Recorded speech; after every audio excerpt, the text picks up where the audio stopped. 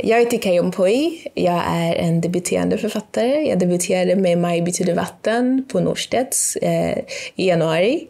Eh, och jag är här på Etnografiska för att läsa ur min bok Maj betyder vatten. Maj betyder vatten är en uppväxtskildring där vi följer flickan eh, Addi eh, som i början av boken får en ny lilla syster som får det förbannade namnet Maj. Och eh, boken, i, i, i, i bok, bokens grund kommer från en myt i min egen familj där vi, eh, vår gammelfarmor, det sägs att min gammelfarmor dömdes att dö i fångenskap och därför förbannade sitt namn. Och i början av den här boken så får eh, lilla systern det här förbannade namnet och ja, där börjar vi. Ja, för jag tycker att det är viktigt att en bok som Maj-Britt vatten ges ut i Sverige idag.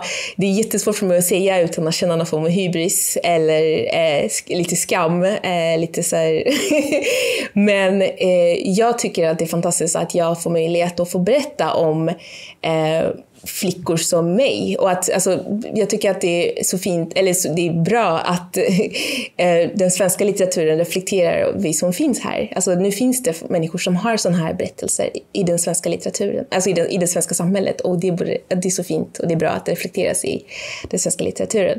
Så jag är ärad att eh, att min bok får vara del i det här som jag tror kommer förändras. Alltså det kommer komma fler, det är fler, eh, fler röster från dels afrikanska diasporan.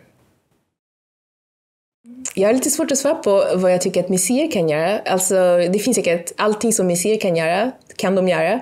Jag tänker att till exempel att det här eventet finns, att, eh, att de anordnar en, en, en en, en, his, en historievecka eh, och bjuder in oss och, sen, och vi får tala och, komma, alltså, och vi får kanske en ny publik.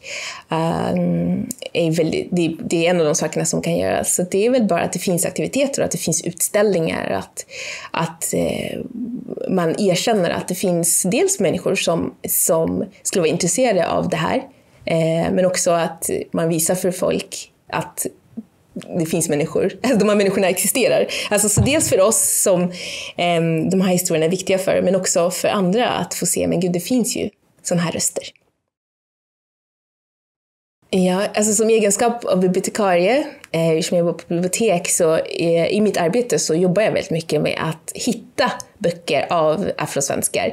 För det, det, börjar komma, det börjar bli allt fler faktiskt. Det är väldigt ofta, jag kan känna att det är väldigt ofta som folk inte ens känner till att det finns, eh, eller att eh, ingen söker efter dem. Men jag har upplevt att när jag har kommit och haft förslag så har folk varit väldigt eh, inspirerade och glada över att jag kommer med dem.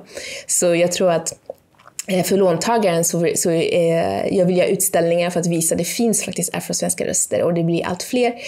Eh, så, och vad biblioteken kan göra, alltså till exempel det jag försöker på mitt bibliotek är ju också att ha skrivkurser med ungdomar eh, och jag har ett projekt som jag gör med fyrorna på Höglundaskolan i Jordbro där jag jobbar, eh, där de ska skriva en bok som vi kommer ha sen till utlån på biblioteket. Och, eh, så det är sådana saker så jag tänker att biblioteken kan göra, det är att, att lagra eller skapa tillfällen för att samla ihop dessa berättelser och sen lagra dem och göra dem tillgängliga för allmänheten.